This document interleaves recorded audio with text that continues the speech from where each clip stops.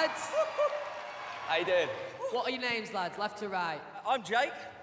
I'm Ollie. I'm Ben. And I'm Jordan. And together you are. We're no labels. He is fit. What inspired you to form this group band? I just feel like it's the right time. I feel like there's a really big gap at the minute. Uh, For with- what? For boy bands. Hold up. Yeah, yeah. I feel like there's a really big gap. um, and obviously with yourself and Louis, no better way to show it to one of the two biggest boy bands that was ever Great. that was ever created. So.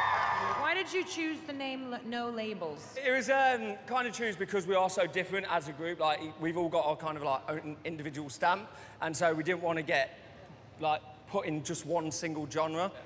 I like it. You know what the thing is with a name?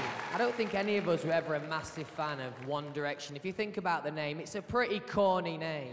Um, Take- but take that, eventually you just horrendous. get used to it. Take that as well. Yeah, yeah. So uh, good luck. Thank, you. you. All right. Thanks, guys. Cheers, guys.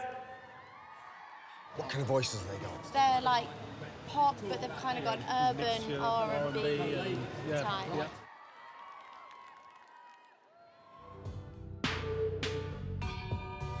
Come on, lads.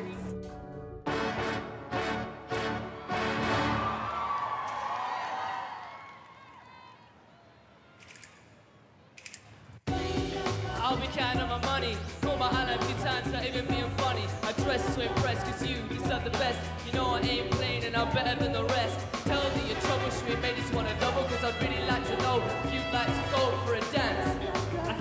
getting closer. Hey, man, I had to go, so I said goodbye. You always remember my suit and tie. And as soon as I got my suit and tie, I'ma leave it all on the clock tonight. Baby got dressed up to the nines. Show you what you've been. Show you